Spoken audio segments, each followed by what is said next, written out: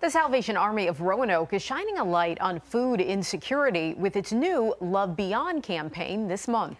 Tonight, 10 News reporter Sydney Jackstimer explains why the need for food in our community has grown exponentially, plus what you can do to help.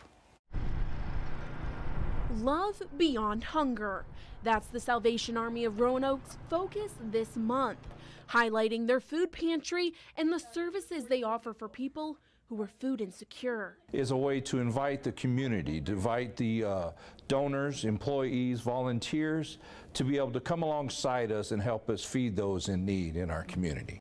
To help the Salvation Army of Roanoke love beyond hunger, they're asking for non-perishable donations. Regular fruits and canned vegetables, non-perishables like mac and cheese, mashed potatoes, canned meats, on average, the Salvation Army of Roanoke gives out 15 food boxes and 50 snack bags a month.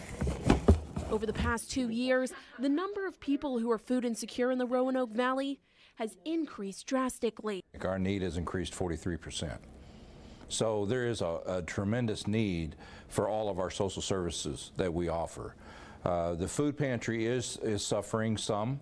Uh, as you can see that our, our shelves are a little bare. So we need all the help that we can get from the community. Thank you.